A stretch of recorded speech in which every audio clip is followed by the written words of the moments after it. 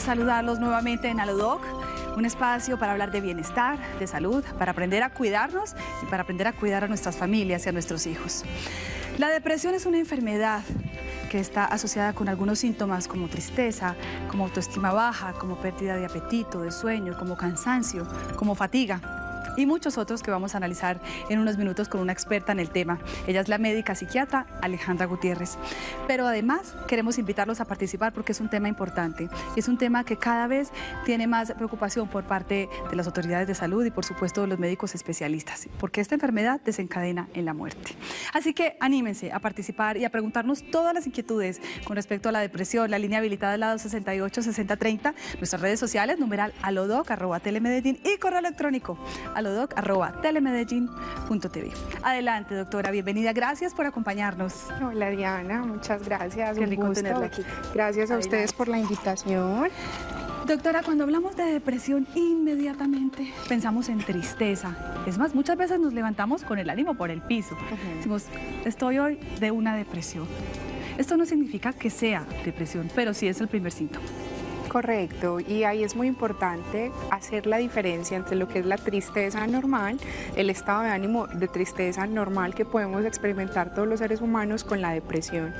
Em, a veces tenemos eh, el error de decir hoy amanecí deprimido, pero cuando hablamos de depresión ya eso incluiría otra cantidad de síntomas.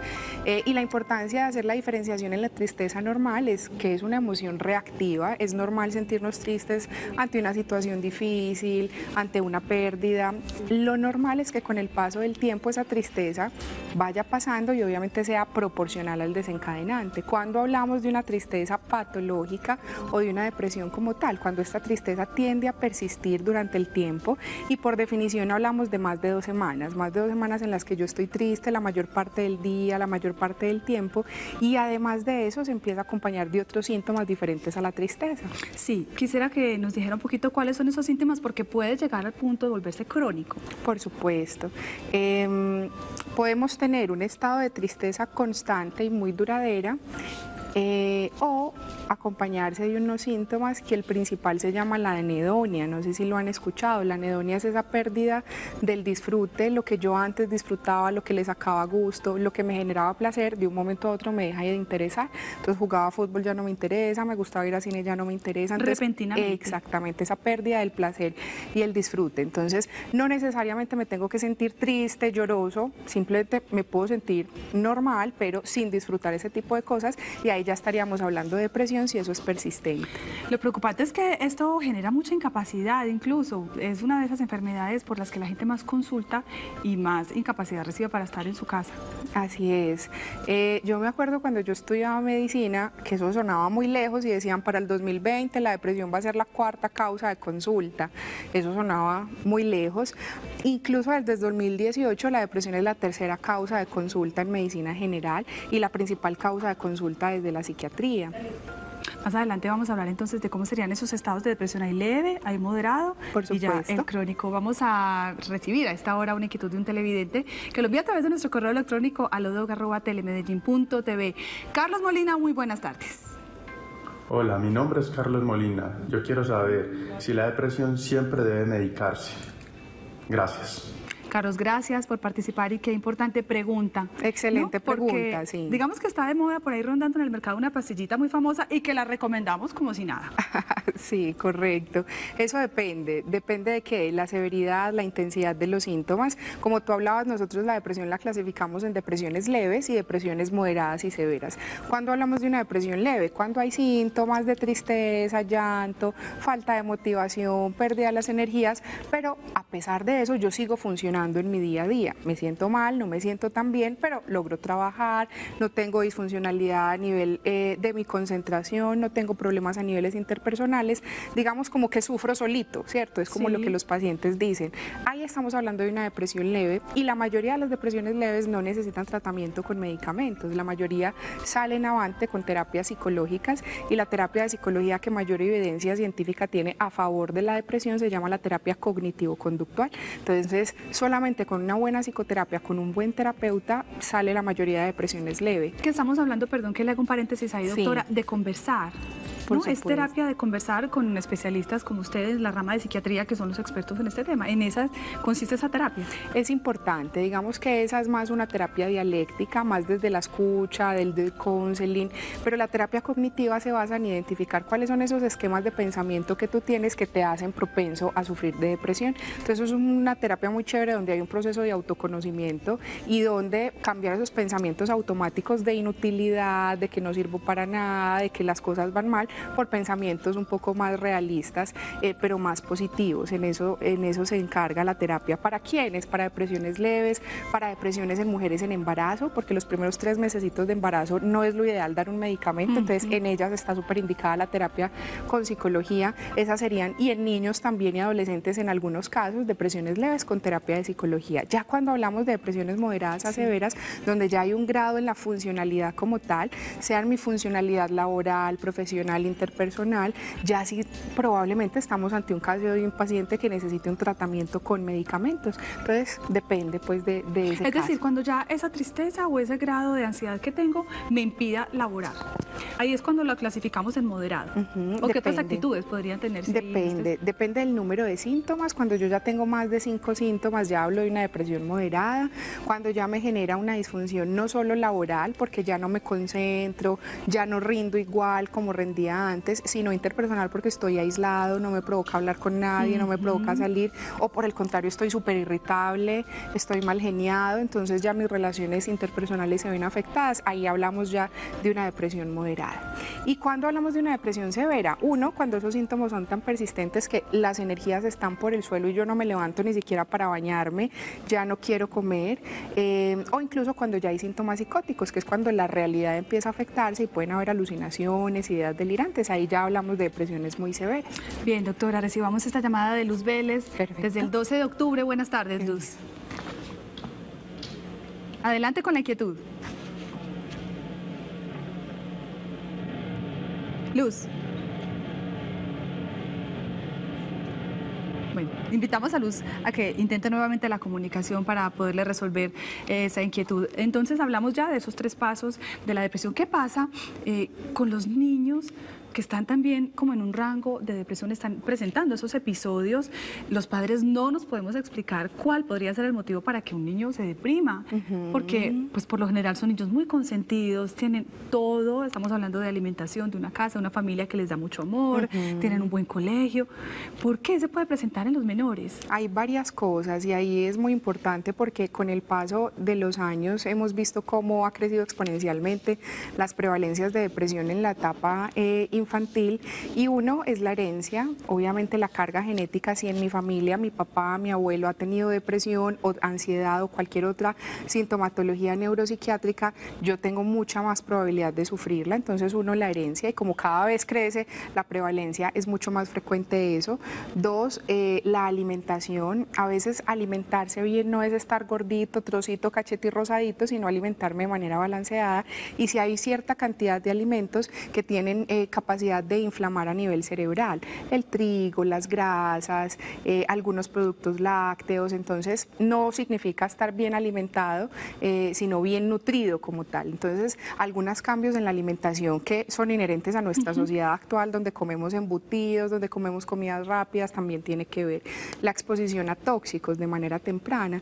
Pasa algo en nuestra sociedad que es una realidad muy difícil y es que hay chicos empezando a consumir sustancias desde edades muy tempranas. Yo tengo pacientes desde los 8 años consumiendo sustancias. Entonces, obviamente que la exposición a esos tóxicos altera la formación de las neuronas y su desarrollo y la forma como modulan algunos neurotransmisores y tienen más riesgo de depresiones tan tempranas. El bullying escolar es otra de las causas mayor, más frecuentes eh, de depresión y ahora eso es un boom, pues ahora los colegios los niños son mucho más crueles que en otros momentos y el bullying sí está asociado a depresiones y a ansiedad. En unos minutos ya usted nos explica cómo sería el tratamiento y cómo lo podemos prevenir también desde nuestras casas. Vamos a recibirte a Luz Vélez, que parece que ya lo logró. Buenas tardes.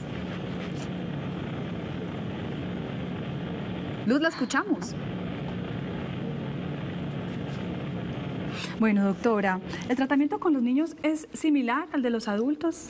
Cuando hablamos de las tres fases y el tipo de tratamiento para cada una de ellas, ¿aplica también entonces en este Dentro de la clasificación también. Obviamente un niño en formación o sea formación cerebral, uno intenta evitar psicofármacos, medicamentos pues que actúen a nivel del sistema nervioso central, pero si hay depresiones muy intensas o muy severas que ameritan tratamiento.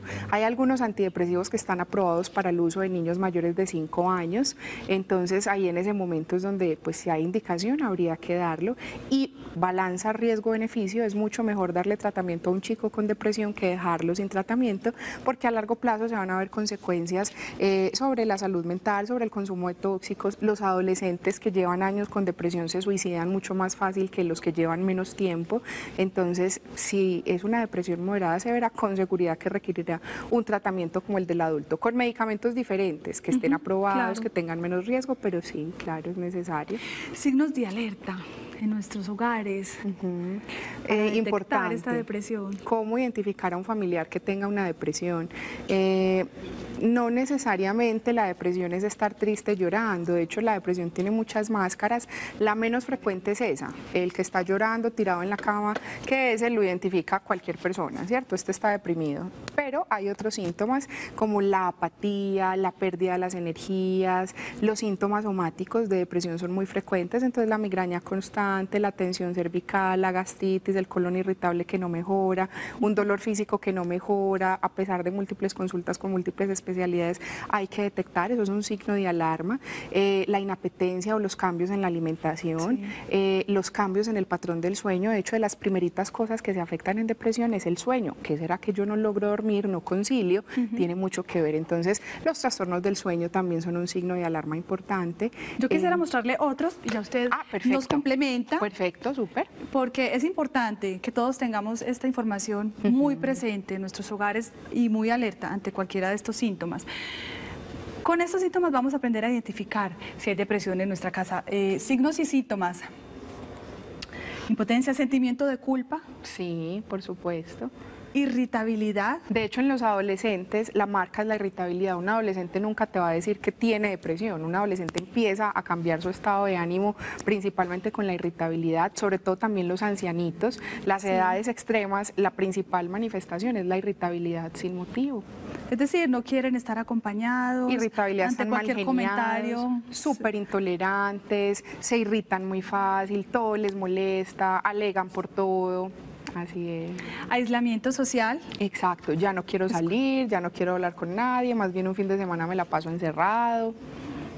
Sí, esa, esa falta de comunicación, pero por voluntad propia. Claro. La falta de concentración. Es súper frecuente en los adolescentes y obviamente pues en todas las edades las fallas de concentración.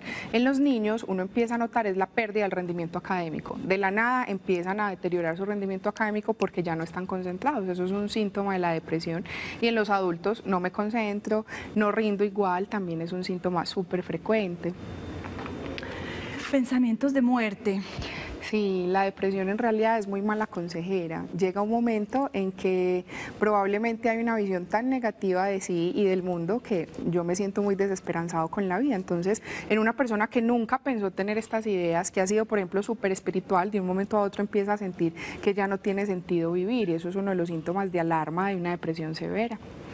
Así es, trastorno del apetito, también lo hablamos hace unos segundos, estas ganas de alimentarse, falta de energía, estas personas también lucen así, cansadas, Exactamente. La fatiga, la pérdida de las energías, ya no me arreglo casi, ya no me peino bien, ya no me importa cómo me visto, ya no tengo energías para eso. Hazte de cuenta lo que yo le digo a mis pacientes en la consulta, haga de cuenta que se le acabó la gasolina en el cerebro. O sea, literal, no tienes energías para hacer muchas cosas problemas de sueño, que los principales es el insomnio, el insomnio para la dificultad para conciliar o mantener el sueño.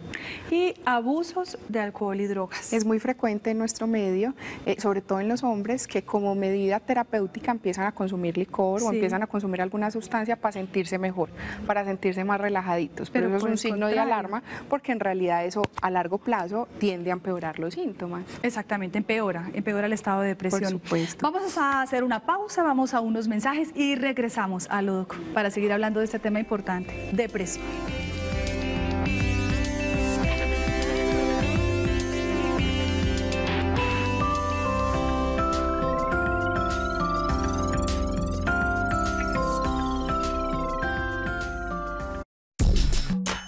Estás viendo Alodoc. Hablemos, qué importante doctora este video de la OMS que precisamente lo utilizan como parte de su estrategia para decirle a la gente, a las personas, conversen, hablen. En nuestro círculo de pronto más cercano, nuestras parejas, nuestras familias, la mamá, las hermanas, no sé, puede ser ese primer círculo de desahogo para contar lo que estamos sintiendo, ¿no? Por supuesto, lo que pasa es que estamos en una sociedad que todavía estigmatiza mucho, entonces cuando tú manifiestas un sentimiento de tristeza, lo primero que te dicen, pero ¿por qué si lo tenés todo? ¿Cierto? Entonces el lo primero que lanzamos es un juicio cuando en realidad lo primero que debemos hacer es escuchar, claro. Qué bien, doctora. Vamos a recibir esta llamada de Luz Sneidy León de Robledo. Buenas tardes. Adelante. Me parece que hoy tenemos unos problemitas con la comunicación telefónica. Luz, adelante, la escuchamos.